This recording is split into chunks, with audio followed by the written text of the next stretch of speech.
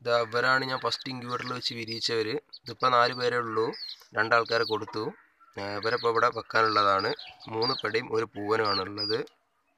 ഇതാ കണ്ടില്ലേ?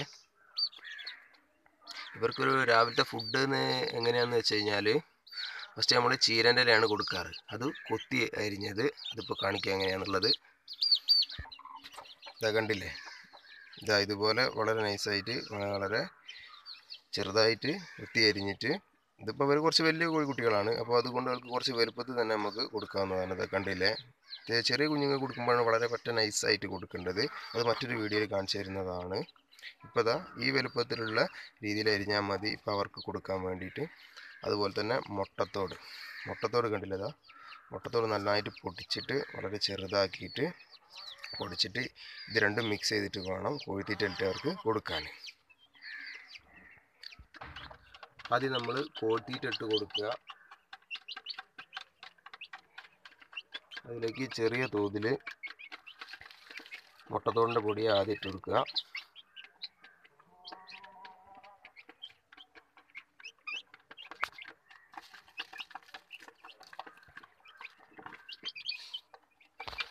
ഉണ്ടല്ലേ? മുട്ടത്തോടിന്റെ പൊടി അങ്ങനെ കുറച്ച് ഇട്ട് കൊടുക്കുക.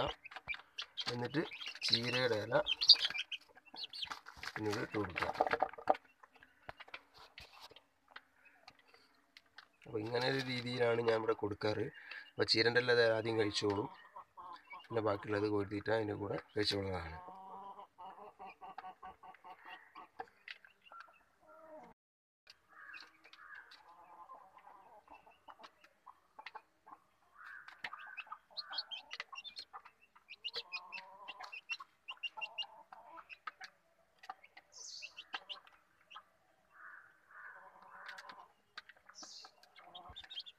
സാധാരണഗതിയിൽ ഈ നാടൻ കോഴി കുഞ്ഞുങ്ങളെ നമ്മൾ പുറത്തിട്ട് അയച്ചിട്ട് വളർത്തുമ്പോൾ മറ്റ് പരുന്ത് അതുപോലെ കീരി എന്നിവ പിടിച്ചുകൊണ്ട് പോകുന്നത് വളരെ ചാൻസ് കൂടുതലാണ്. അപ്പോൾ അതുകൊണ്ട് എല്ലാവരും കൂട്ടിലിട്ട് വളർത്തുകയാണ് ചെയ്യാറ്. അപ്പോൾ കൂട്ടിലിട്ട് വളർത്തുന്നത് കൊണ്ട് ഇവരെന്താണ്? ചത്തുപോകാൻ ചാൻസ് വളരെ കൂടുതലാണ്. അപ്പോൾ കൂട്ടിലിട്ട് നമ്മൾ ഏട്ടും പുറത്ത് വിടാതെ മറ്റു പുറത്തുള്ള കല്ലും മണ്ണും മറ്റു സാധനങ്ങളും അതുപോലത്തെ വിര അങ്ങനത്തെ കാര്യങ്ങളൊക്കെ തിന്നാതെ വളരുമ്പോൾ ഇവർ കൂട്ടിലിട്ട് അടച്ചിട്ട് വളർത്തുന്നതുകൊണ്ട് ദഹനക്കേട് വന്നിട്ട് ചത്തു പോകുന്ന ചാൻസ് കൂടും. ഒരുപാട് ആൾക്കാർ അങ്ങനെ പറഞ്ഞിട്ടുണ്ട്. അപ്പോൾ അതിനൊരു പോംവഴിയാണ് ഇതിപ്പോൾ അങ്ങനെ വെച്ചാൽ നമ്മൾ ഫുഡ് കൊടുക്കുന്നതിന്റെ കൂടെ തന്നെ പച്ചില അതുപോലെ തന്നെ മുട്ടത്തോട് എന്നിങ്ങനത്തെ കാര്യങ്ങൾ കൊടുക്കുക. അതുപോലെ തന്നെ കൂട്ടിൽ കോഴി ഒരു നേരം ഭക്ഷണം കഴിച്ചു കഴിഞ്ഞാൽ പിന്നെ വേസ്റ്റ് ഉണ്ടാവരുത്. ശേഷം പാത്രം ഫുള്ള് കാലിയായിരിക്കണം. ഒന്നല്ല ഭക്ഷണം എടുത്ത് മാറ്റുക അല്ലെങ്കിൽ കുറഞ്ഞ തോതിൽ കൊടുക്കുക. അങ്ങനെ കുറഞ്ഞ തോതിൽ കൊടുക്കുമ്പോൾ പിന്നൊരു ഭക്ഷണം അതിലില്ലാതെ വരുമ്പോൾ കോഴിക്കുഞ്ഞുങ്ങൾ എന്ത് ചെയ്യും? അടുത്ത ഭക്ഷണത്തിന് വേണ്ടി വെയിറ്റ് ചെയ്ത് നിൽക്കുക ചെയ്യുക. മറ്റ് കോഴിക്കൂട്ടിലുള്ള ആ ഭക്ഷണ വേസ്റ്റ് അതിൽ തന്നെ കിടക്കുന്നത് മൂലം ഇവരെന്ത് ചെയ്യും? അത് പിന്നെ തിന്നൂല. ആ ഭക്ഷണം പിന്നീട് കഴിക്കാതെ ആകുമ്പോൾ കോഴിക്കുഞ്ഞുങ്ങൾ മറ്റെന്തെങ്കിലും ഫുഡിന് വേണ്ടിയിട്ട് കൂടുതൽ ഇങ്ങനെ ഓടി നടക്കുന്നതാണ്. അപ്പോൾ എന്താ വെച്ച് കഴിഞ്ഞാൽ അപ്പോൾ ഈ ഒരു ഫുഡ് ഇതാ ഇപ്പോൾ ഈ ഒരു രീതിയിലുള്ള ഫുഡ് കൊടുത്തു കഴിഞ്ഞ ശേഷം ഇതാ ഇത് ഇവർക്ക് കറക്റ്റ് ആയിട്ടുള്ള ഫുഡാണ് ഇനിയിപ്പോൾ ഇതിൽ വേസ്റ്റ് ഉണ്ടാവില്ല ഇത് ഇവർ ഫുള്ള് തിന്ന് തീർക്കുന്നതാണ്. അത് കഴിഞ്ഞാൽ പിന്നെ കൂട് ഫുള്ള് കാലിയാണ്.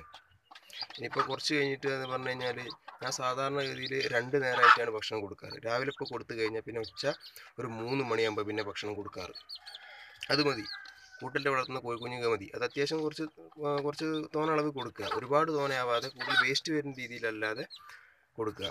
അങ്ങനെ കൊടുക്കുമ്പോൾ നമുക്ക് എന്താ വെച്ചാൽ ഒരുപാട് ഈ കോഴിക്കുഞ്ഞുങ്ങൾക്ക് ഒരുപാട് എന്താ പറയുക സൂക്കടും കാര്യങ്ങളും വരുന്നൊക്കെ കൂട്ടിലിട്ട് വളർത്തുന്ന കോഴിക്കുഞ്ഞുങ്ങൾക്ക് നമുക്ക് ഇല്ലാതാക്കാൻ കഴിയുന്നതാണ്. ഞാൻ ആ മെത്തേഡ് ഉപയോഗിച്ചിട്ട് എനിക്ക് ഇന്ന് വരെ അങ്ങനെ ഒരു എന്താ പറയുക ഈ കോഴി ദാനക്കേട് മൂലം ചത്തുപോവുക അങ്ങനെ ഒരു സംഭവം ഇതുവരെ അങ്ങനെ ഉണ്ടായിട്ടില്ല. ഞാൻ ആദ്യം ഉണ്ടായിട്ടുണ്ട് പക്ഷേ അങ്ങനെ ചത്തു പോയപ്പോൾ ഒരുപാട് കോഴികൾ ചത്തുപോവുകയൊക്കെ ചെയ്തിട്ടുണ്ടായിരുന്നു. പക്ഷേ ഇപ്പം ഞാൻ ഇങ്ങനെ ഞാൻ എന്റേതായിട്ടുള്ള രീതിയിൽ കൊണ്ടുവന്നപ്പോൾ ഇപ്പോൾ അങ്ങനെ ഒരു പ്രശ്നങ്ങളോ കാര്യങ്ങളോ ഇപ്പോൾ കുറച്ച് കാലമായിട്ട് ഇല്ല.